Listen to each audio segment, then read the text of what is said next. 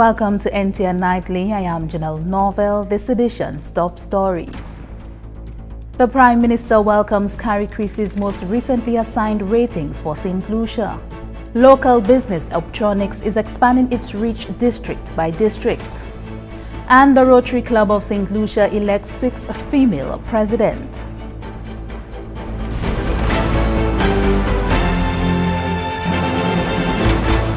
The Caribbean's credit rating agency, Caribbean Information and Credit Rating Services Limited, CARICRIS, has reaffirmed the assigned ratings of BBB on its regional rating scale to several debt programs of the government of St. Lucia. These ratings indicate that the level of credit worthiness of these debt obligations, adjudged in relation to other debt obligations in the Caribbean, is adequate. The agency has also maintained a stable outlook on the ratings. In a statement, CARICRIS indicated that its stable outlook is premised on the expectation of strong construction activity and a partial recovery in tourism in 2021 and that debt to GDP would not breach the current rating categories limit. Prime Minister the Honorable Allen Chastanet welcomed the ratings. Considering everything that we have been through with COVID, uh, we are very satisfied with where we are at this point. Um, it's a stable outlook and there was no further downgrade of our credit rating. And more importantly, um, I think that CARICRIS shares our optimism as to what the future holds. And I remind us that we had a 10% increase in the level of debt, which was about $300 million, but we had a decline of 20% or contraction in our economy. Um, almost 90% of that decline was attributed to tourism.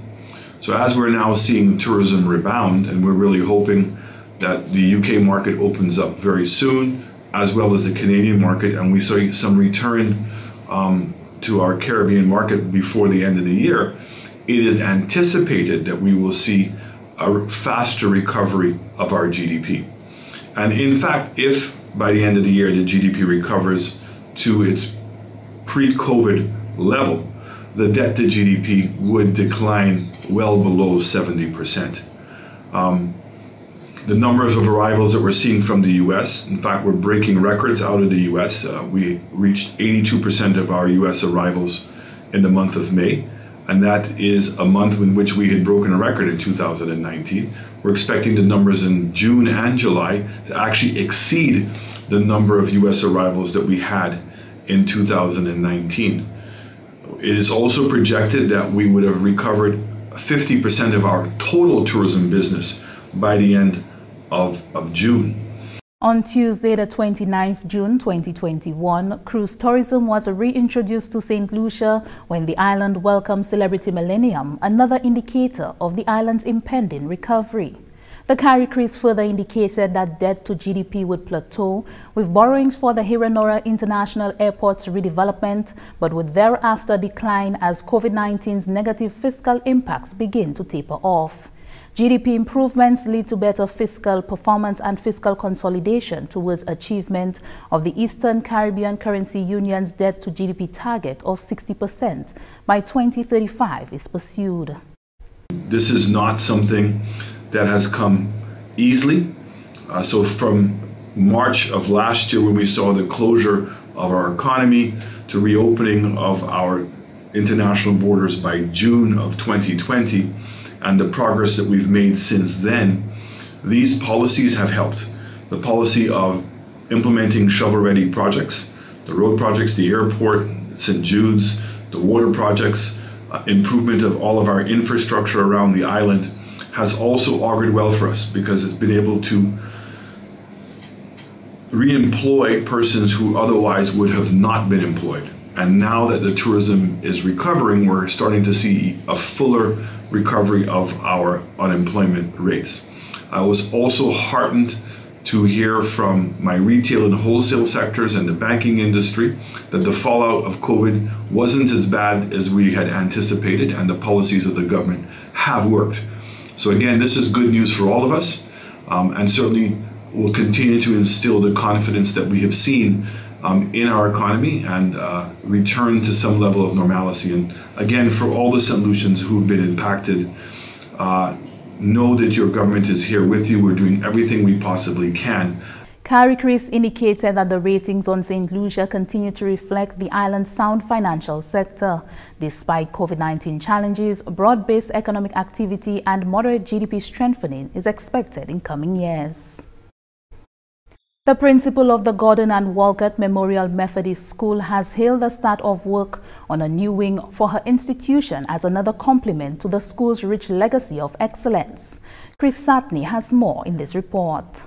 The construction of the new block will see the demolition of the old infant wing of the school to provide more security, adequate operating space, and enhancement of the teaching and learning experience at the institution. It's been a 10 year wait for the Gordon and Walcott Memorial Methodist School, which has undergone several name changes over the years since the first Methodist school was established in St. Lucia over 131 years ago. In 1951, the primary school was moved to the current location and named after the first head teacher, the late Thomas Gordon. Principal of the school, Margaret Gabriel, touched by this recent endeavor, was encouraged to take a trip down memory lane.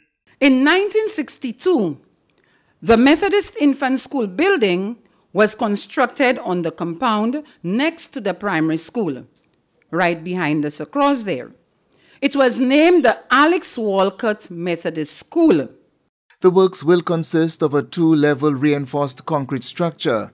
The first floor will contain four classrooms, staff room and washroom facilities, while the ground floor will consist of one classroom, music room, theater arts and French rooms, and a sick bay. It's a plan which satisfies the Gordon and Walcott School's principal. We look forward to the completion of this beautiful new block which will transform our school compound and modernize our facilities to help us offer quality education in a more conducive physical environment.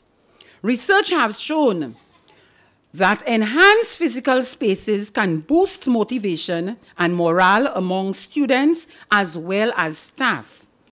Minister with responsibility for education, Honorable Dr. Gale Rigobert, who helped turn the sod for the start of the construction, is certain this and two other schools being built under the Education Quality Improvement Project EQUIP at a total cost of 20 million EC dollars will ensure the sustainability of modern education at these institutions for generations to come. So the social fabric of our society is what concerns us. The things that hurt our people is what motivates us to fix things, to address issues, and to ensure that we put systems in place that will outlive us. Because it is not an egotistical endeavor that my minister, ministerial colleague and I, or I will boast that I have done this. It's not about us. It is about the people and ensuring that we give to them what they earnestly desire, deserve, and want for themselves and for their families. The site works will include improvements in the perimeter fencing and vehicular parking conditions. It will also include improved site drainage and improved site access on the northern boundary, as well as refurbishment of the existing septic tank. MP for Castries Central, Honorable Sarah Flood-Beaubrun, says the school is well placed to build on its rich history to make even greater accomplishments in the future. So I want to thank you for all that you've done. I mean, your school uh, looks so clean, the environment so welcoming, your students so well behaved. You will excel even more in a an environment that's suited more to these times to help you perfect your work even more. So I want to say how very pleased and grateful I am today as, a, as your Member of Parliament to thank again the Minister of Education and her entire team for prioritizing this project. The construction of the new block at the Gordon and Walcott Memorial Methodist will be undertaken through a 10-month period by Prudy's Construction Limited at a cost of just over 5 million EC dollars. From the Communications Unit of the Ministry of Education, Innovation, Gender Relations and Sustainable Development, I am Chris Satney reporting. After hosting a successful student digital skills training last year, local business Orbtronics is expanding its reach district by district. In September, digital training sessions will be held at the Gros Islet Human Resource Center for individuals 16 years and older. Participants will be engaged in training on social media marketing, website design, basic graphic design, PowerPoint presentations, e-commerce tools, and the effective use of information management systems like Google Suite. Orbtronics co-founder Keegan Patrick says this type of engagement with the public is geared towards increasing digital literacy and the number of digital businesses in Gros Islet. We want to um, help develop this um, interest in technology. We want to see um, St. Lucia and the Caribbean region become a place where we're not only um, users of innovative technologies, but we become creators of innovative technologies. Mm -hmm. These STEM educational programs focus on um, teaching the human capital of St. Lucia with wider perspectives of the Caribbean about technology, about engineering, and um, the digital space as it's growing. Um, we know uh, in the world right now many um, there's the almost the fourth industrial revolution where we're going into technology, the Internet of Things, and we're trying to bring this um, new space of technology to St. Lucia and try to get our public familiarized and interested in this kind of industry. Operations manager overseeing the upcoming training sessions says the response by the public has been tremendous. He encourages persons to register if they want to transition their businesses online or enhance their employability.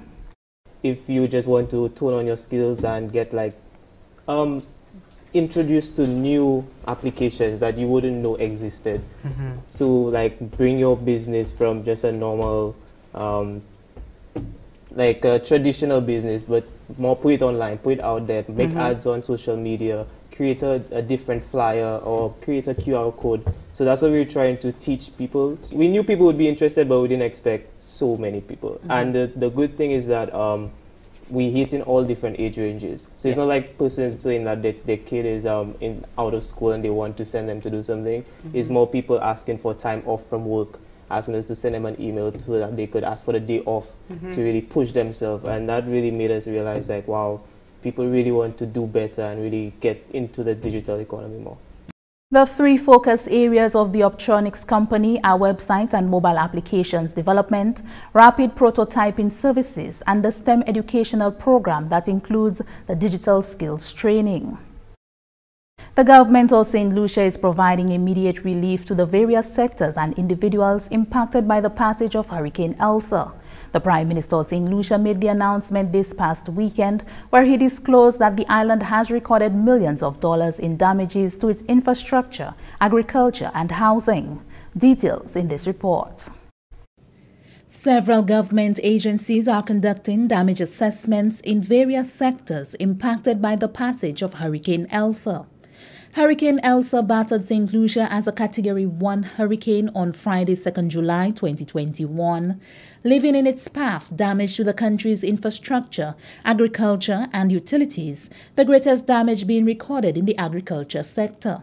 Prime Minister the Honorable Allen Chastanet on Sunday provided an update on the damage recorded and recovery plan for St. Lucia. The Ministry of Education, there were several schools in which the roofs were damaged. Um, as well as the CDC buildings. Um, eight of the buildings, the roofs were badly damaged, but 13 buildings were impacted altogether. In terms of individual households, we're still doing a full assessment. I believe the teams are still on the ground, um, determining how many homes were actually impacted. Um, and we've gotten from different constituencies, obviously, you would appreciate different numbers so far, but I'm hoping that by tomorrow, Monday, that would receive a more accurate update on the number of households specifically that have been hindered.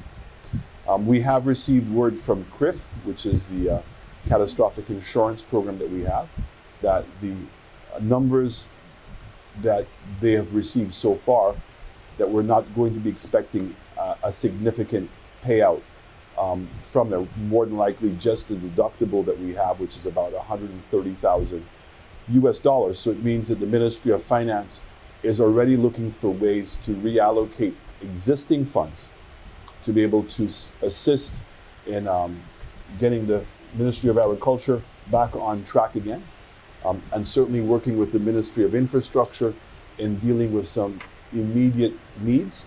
Um, and really, the, the, the big one would really be the Ministry of Education, and through the Ministry of Equity, some of the individual households, particularly to the more vulnerable persons in our society. The Prime Minister, noting that this is only the beginning of the hurricane season, indicated that swift action must be taken to ensure the recovery of the country and preparations for storms to come. He explained that the government of St. Lucia, following the passage of Hurricane Elsa, immediately began recovery efforts.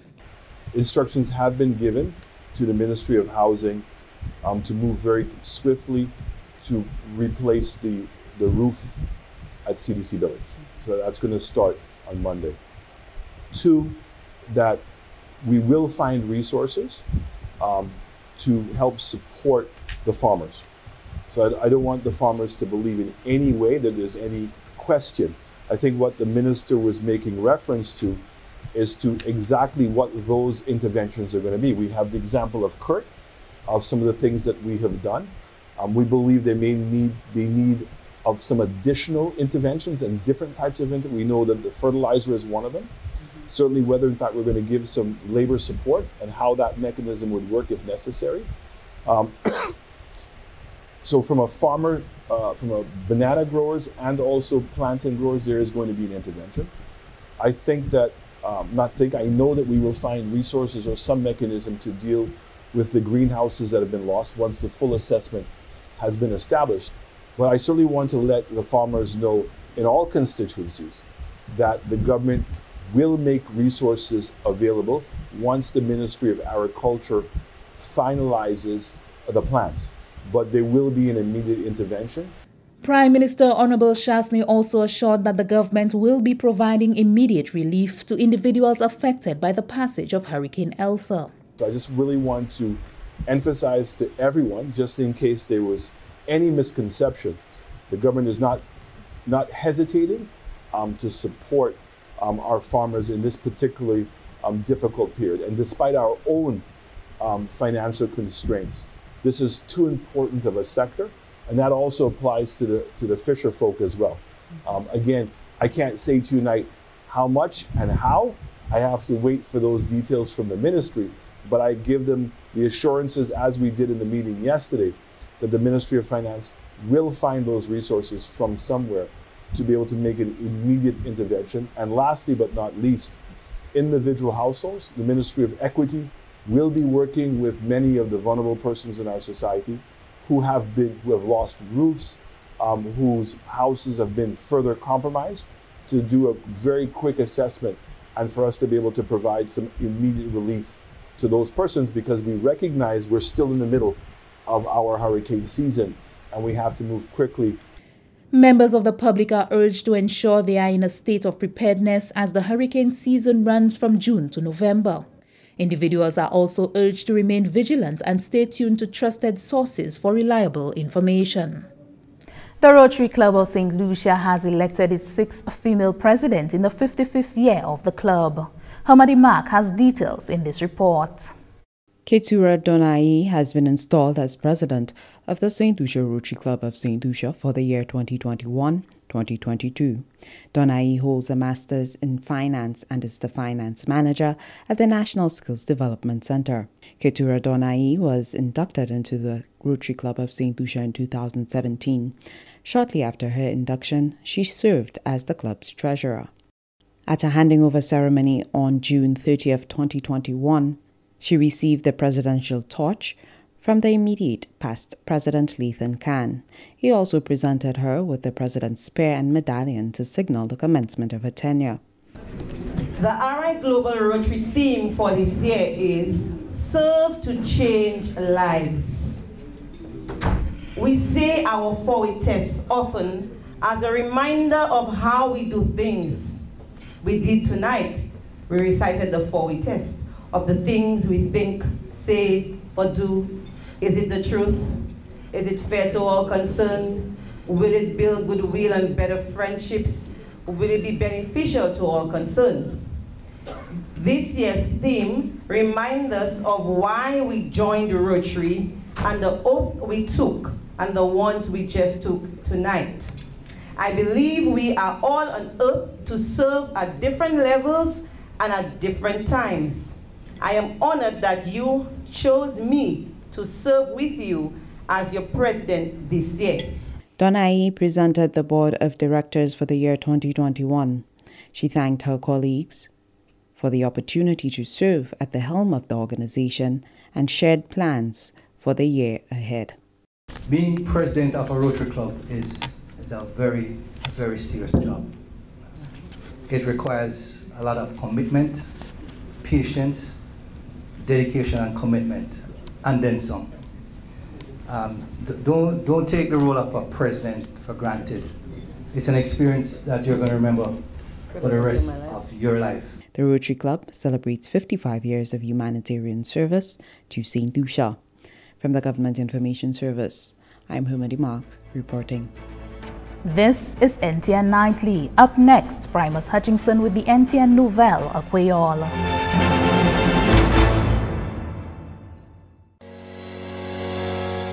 One of the eight universally recognized rights of the consumer is the right to satisfaction of basic needs. This means that every consumer has the right to basic goods and services that guarantee survival. This right includes adequate food, clothing, shelter, healthcare, education, water, and sanitation.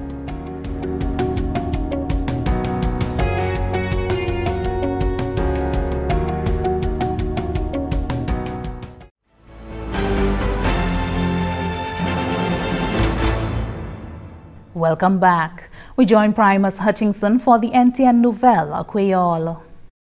Monsieur Tan, Janelle, Monsieur, Madame, département nous responsabilité pour information en gouvernement celle-ci, c'est GIS, ACMP Télévision Nationale pays NTN, qui vous cette nouvelle en créole, vous êtes au Primus Hutchinson. Village Canary a continué pour faire contribution pou devlopman turistik, devlopman pou ekonomi pa wes la, ekset lisi genwalman. Kousa la, se yon lizin chokola ki ouve semen pase an komen bel vide. Inisiatif sa la, fet pa madame ek misi Calixtus ek Maria Jackson, me prinsipalman Maria ki pren disisyon sa la pou wule yon kout gwen de kote ilese travay li pou pren go wis sa la. Ase kon govedman set lisi, a continué pour ouvrir l'occasion là pour développer business touristique en Saint-Éticotte en PIA. Ça a ouvert chemin pour PIA même pour l'avantage et embrasser l'occasion ça là. Maria Jackson, qui s'est gérée des opérations et met business ça là, déjà une SPS en travail chocolat, comme un chef en hôtel, et c'est pour raison établi Kako cette-ci. Reprezentatif an kay parleman pou Aslawi Kanawi yo si se Ministre des Affaires Touristik Honorable Dominic Fede ka we inisiatif sa la konyon gwan l'okasyon pou Jean Kanawi touve travay ek osi i di sa se yon l'okasyon pou Kanawi viwe etabli biznis kako ki te vivan an tapasi. Ministre Fede pomet ki gouvernement ka yi fasilite yon levyonman pou set misi etabli tri biznis kon sa. Premier ministre cette ici honorable Alain Chasney déclare que ce qui est plus important en affaires business, c'est pour développer publicité et présenter produits à une façon qui va intéresser les gens pour acheter. Premier ministre Chasney, c'est chocolat ça là, les gens qui pas même connaître cette ici, goûter à l'autre pays, qui fait recherche pour savoir que côté cette ici qui a existé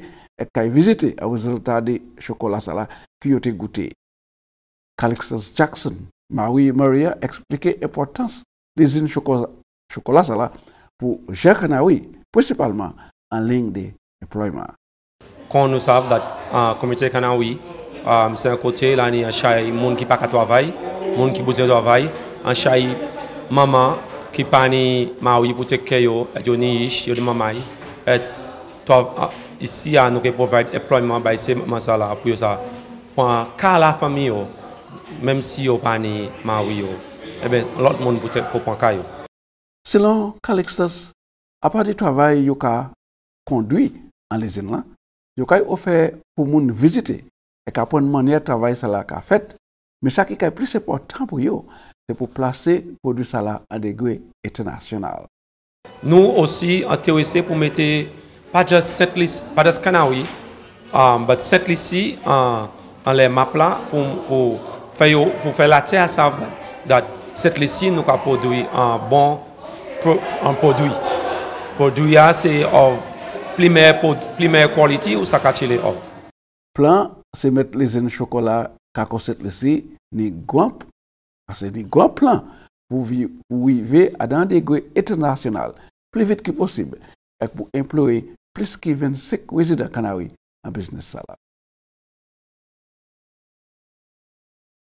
Le ministre en cabinet de gouvernement, cette ici, est venu ensemble samedi passé, le troisième en mois de juillet, à une session pour continuer à faire assessment à ce dommage qui cyclone Elsa PC à ce cette ci Ça, c'était vendredi et samedi passé, côté porté en pile vent et clapli.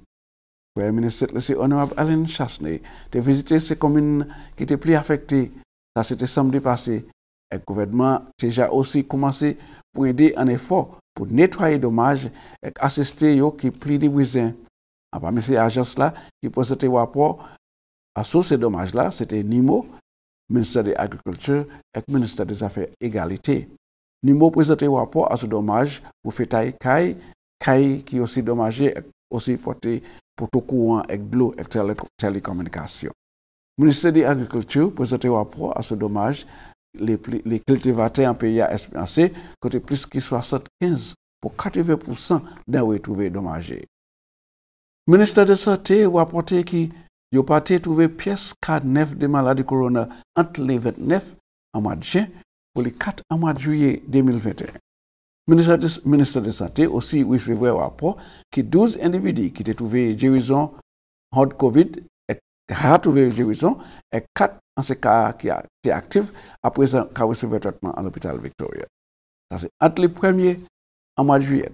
En total de 30 989 individus recevaient première dose de la vaccine et 22 103 recevaient deuxième dose de la vaccine. Les officiers de santé, quatre même, pli konsene pou se ka nef korona ki pli danjewe ek sa afekte sate moun pli mouve. Chef ofisye medikal a resept lese Dr. Sharon Belma George deklare ki padan yo ni konfians ki la vaksin nan ni bo kotwal, yo osi konsene di yo ka nef korona od Sot Afrik. Ministère de Santé ka kontine pou ekoraje tout moun pou suiv tout protokol ek toujou lave la men, ek savon ek glo, seve mas asofijay, Poukovene, Bush, avec les autres, tiennent six pieds de distance et toujours sans état. Et c'est comme ça nous avons trouvé nouvelle là. Je vous remercie autant pour regarder et pour avoir une invitation. Je n'ai plus encore cité conserver la vie, on a présenté l'autre nouvelle. À quoi on a présent? On a vu présenter Janelle. Merci Apple Primus. That brings us to the end of NTN Nightly. Join us next time at 7 p.m. with a repeat at 7 a.m. You can also catch up with us anytime on the St. Lucia Government Facebook page or YouTube channel. I am Janelle Norvell.